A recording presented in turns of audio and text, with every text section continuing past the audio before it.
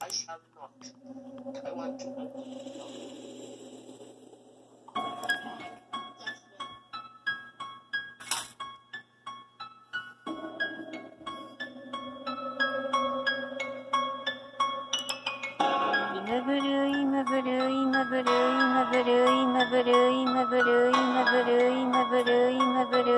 Thank you.